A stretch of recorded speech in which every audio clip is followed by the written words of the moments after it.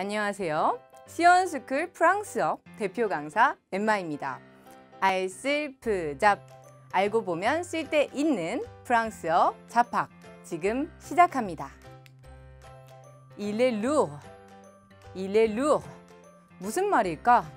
먼저 il est 그는 어떠어떠하다. 그리고 lourd 영어의 heavy와 같은 무거운이라는 뜻이에요. 그럼 무게를 잴 때 어 그는 무거워. il est lourd 라고 말해줄 수 있겠죠? 하지만 이 표현은 다양한 상황에서 사용할 수 있습니다.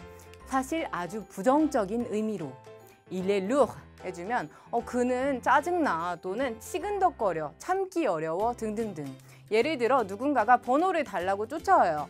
싫다고 싫다고 싫다고 했는데도 계속 쫓아와. 그러면 il est lourd 어, 저 사람 짜증나. 이런 식으로 말할 수도 있고 농담을 계속 똑같은 말 하는 사람한테도 어, il est lourd 어, 저 사람 참기 힘들다. 이런 식으로 사용할 수 있습니다. 간단하게 말하면 lourd 걔 완전 재수 없어 라는 뉘앙스를 가진다. 주의해서 사용하셔야겠죠? 참고로 이 lourd는 긍정적인 의미에서도 사용이 됩니다. c'est du lourd 해주면 오 이거 완전 하드코어하게 멋지다, 완전 좋다 라고 쓸 수 있습니다.